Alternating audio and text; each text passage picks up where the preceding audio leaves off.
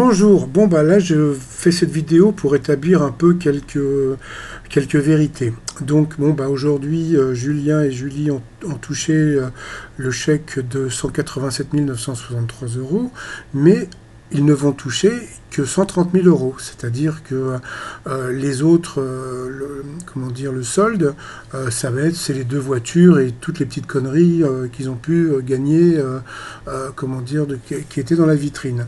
Et puis ensuite, pour, ce qui est de l'argent, par rapport aux règles de tous les jeux, hein, que ce soit chez Nagui ou, chez Jean-Luc Reichmann ou ailleurs, tous les gagnants touchent leur gain trois mois après. C'est-à-dire que même là, si l'émission a été tournée il y a dix jours, euh, eh bien Julien et Julie ne, toucheront l'argent que euh, euh, bah, dans, deux mois et demi, donc on va dire peut-être fin janvier.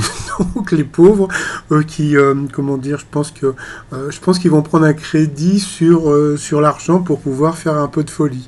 En plus, bon bah euh, donc bon, ils vont, ils vont déménager, mais bon, j'imagine que avec 130 000 euros, euh, bon, c'est pas avec cette somme qu'on peut s'acheter une maison, donc euh, pourquoi pas.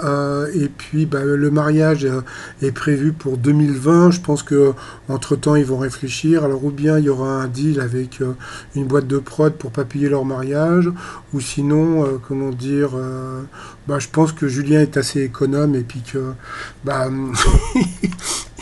il fera tout pour ne pas se remarier et puis de, de, préférence lui offrir un, très beau voyage euh, dans un très beau pays où il pourra se marier sur la plage. Euh, voilà quoi.